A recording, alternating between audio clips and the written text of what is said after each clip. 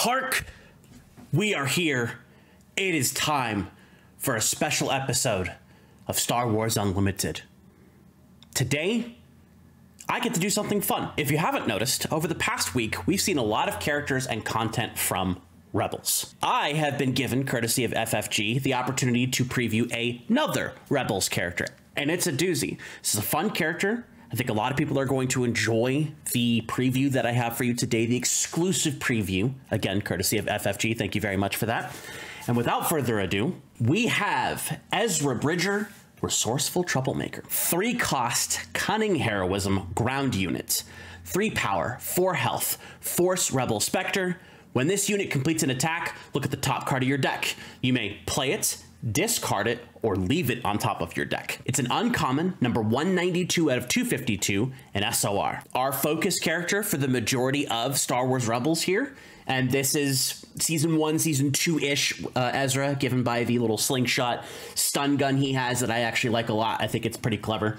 I know a lot of people think it's childish, but I like it. I'm enjoying it. Ezra does something that I think a lot of the Rebels characters are going to be doing, and that has to do with attacking and being aggressive. We've seen Kallus is aggressive with his ambush, even though he's command. We've seen Sabine is aggressive with her leader ability and her leader attack ability that deals damage to bases because aggression. And now we have Ezra, who, even though he's cunning, wants you to attack in order to be able to get the effect. Now, I think that Ezra is actually going to be right at home with Sabine in an aggressive attacks matter deck because it allows you to gain that extra advantage of being able to play a card that you didn't necessarily have in your hand to discard a bad draw off the top of your deck or take a, a card that you want next turn but you don't want to use it this turn and place it back on top of your deck. Three attack, four health is a great profile for a three cost unit. That means that it's not going to die to most other three cost units and it will take a little bit to get it off the board. A waylay will remove it from play for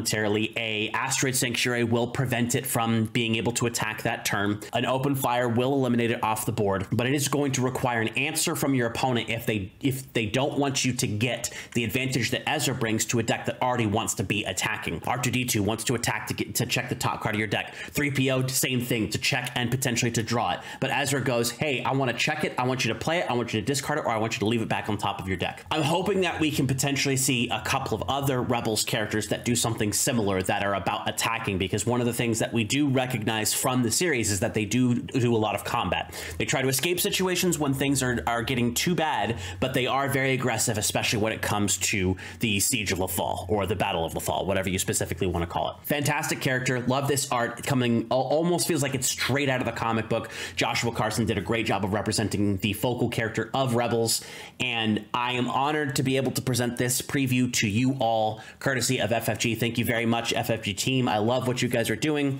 Fantastic set of previews and recognizing the timing of showcasing a lot of the Rebels content within a specific period of time, especially while Ahsoka is currently airing, and lots of cool things are coming as a result of that. So I know I am going to be playing Ezra in a deck, definitely in a Sabine deck, at least a two of, probably a three of, because he is a three cost unit. A lot of three cost units in the game that are definitely going to be two to three ofs, and just figuring out the rest of your curve as it goes up and back as well. One thing I will try to do, especially since I do plan on going to a bunch of events, is I'm actually probably going to try to collect a bunch of these Ezra Bridgers so I can sign them because this is my preview card. This is my my opportunity to showcase to you guys, to you all, something that you haven't seen before. And again, it's a it's a privilege to be able to do so. So if anybody would be interested, if you see me at an event and I have one available, or you have one you want me to sign, let's go. I I'll, I'll bring the sharpies. So there, that is fantastic card there. Thank you once again. FFG for giving me the opportunity to preview that specific card. All of the creators, content creators that have been getting previews have been able to do some awesome things with their card and showcase different different methods of thought processes for these things and I'm honored to be able to be a part of that group to be able to do that. Go follow Unlimited FFG for all Star Wars Unlimited information directly from the source. Follow me on Twitter, twitter.com slash.